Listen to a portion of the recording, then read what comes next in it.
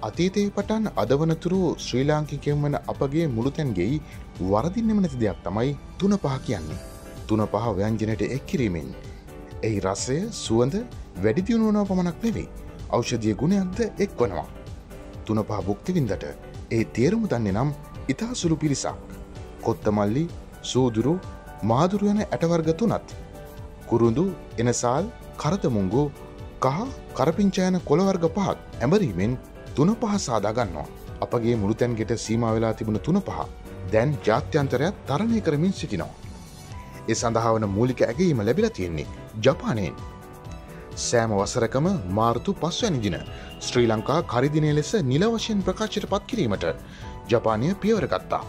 ඒ සඳහා මූලිකත්වය ගෙන කටයුතු කළේ ජපාන සංවත්සර සංගමයයි. ශ්‍රී ලාංකිකින් සිය ව්‍යංජන රසවත් කිරීමට යොදාගන්නා තුන පහවැනි මිශ්‍රණ ජපන් ජාතිකින්ද තම ආහාර රසවත් කිරීමට යොදාගන්නවා.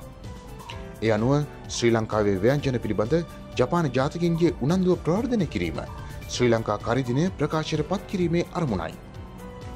මෙරට කුළුබඩු අපනෑනයට ජපානය තුළ ඉහළ වෙළඳ අවකාශයක් අත්කර ගැනීමටත් ජපන් ජාතිකින්ගේ ආකර්ශණය මෙරට සංචාරය සඳහා ලබා ගැනීමටත් මෙය හොඳ අවස්ථාවක් ලෙස සැලකිය හැකි.